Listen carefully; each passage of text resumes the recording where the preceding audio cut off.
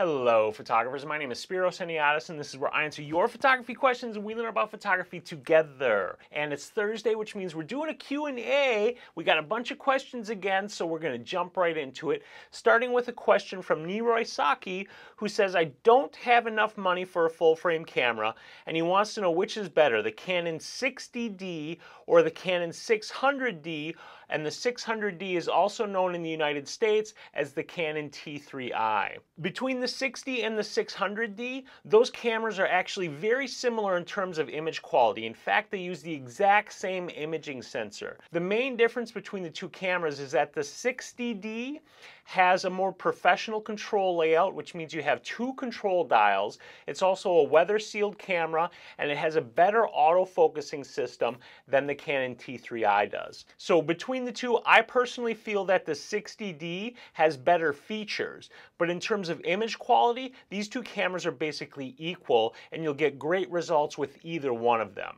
Our next question comes from Miss Money Matters who says, I have problems shooting at night. How would you set your settings in manual mode to get good nighttime shots? If you want to get good photos in low light, here's how you're going to set your settings to get the best results that you can possibly get. First of all, you're going to take your ISO setting and you're going to turn that thing up as high as you're comfortable turning it up. And that's going to vary from camera to camera and photographer to photographer. Some photographers don't like to go over ISO 800 because they don't don't like the noise. Other photographers are comfortable going all the way up to ISO 12800 or even higher in order to get the shot. So that's entirely up to you, but whatever ISO you choose, you're going to take it as high as you can possibly take it.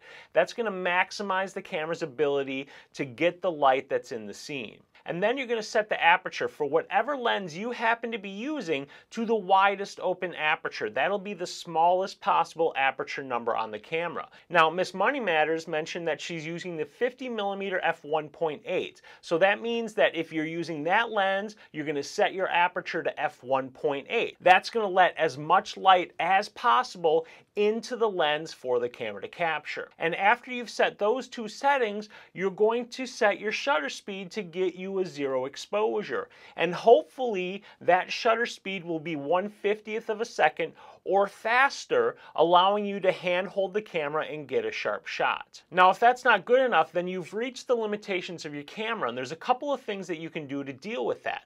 The first is use a tripod. If you put the camera on a tripod, then you don't have to worry about camera shake because the camera will be held steady by the tripod. Now, if you don't have a tripod or you're shooting moving subjects and you want those subjects to be sharp, you're going to need to add light. Whether it's continuous light or a flash, the only other option will be to add light. All right, our next question comes from Rob Millward, who says, I've been shooting spot metering mode, and he shoots a lot of concert shots as well as bar and nightlife shots. And he wants to know if I think spot metering is better or center weighted metering is better. In brief, spot metering means that the camera meters and evaluates the exposure only on a very tiny spot in the whole scene, whereas center weighted looks at the center and the rest of the scene, but gives the center priority in the exposure calculation. Now, if you're shooting concert shots, in my opinion, I would definitely use spot metering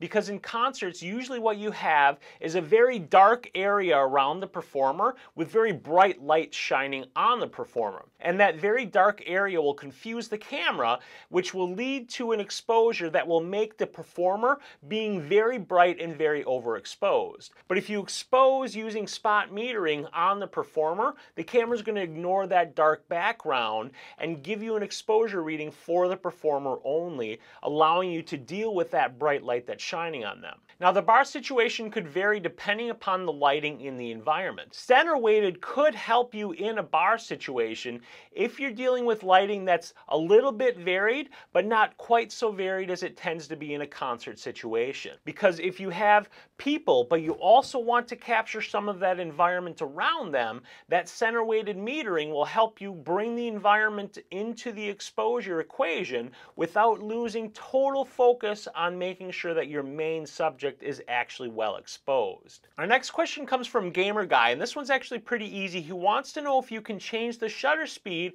when shooting in video mode on the Nikon D3200 D3200 DSLR? And the answer to that is yes. You need to have the camera dial, the mode dial, set to manual mode. And then when you flip the camera into live view, you will have the ability to change the shutter speed. Now, one of the things about the D3200 in video mode is that in order to change the aperture, and I'm just going to point this out because you might not know this, but changing the aperture is not as intuitive as it might seem. You can change the aperture in live view mode and you might see the number change, but the aperture won't actually change. What you need to do is exit live view mode, set your aperture where you want it to be, and then go back into live view mode. Our last question comes from Isaac Liu, who's looking at the D7100 and the D7000.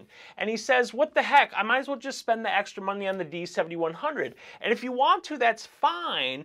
But if you're planning on buying some lenses, because he says he shoots mostly macro, food, and portrait, if you don't already have the really good quality lenses that you want, I would say buy the D7000 and use that extra money to buy a really nice macro lens or a really nice portrait lens instead. Because those lenses will last you through all of your Nikon cameras for now basically until the ends of the earth, but the camera body eventually will go out of date on you. It's always good to invest in good lenses. All right guys, that's all I've got for you this week. I hope you enjoyed the Q&A and if you have questions you want me to answer, let me know down in the comments. And don't forget to like this video, subscribe to my channel. If you really like this video, I want you do me a favor and share it with your friends. But the most important thing you should do is get out there and take some damn photos.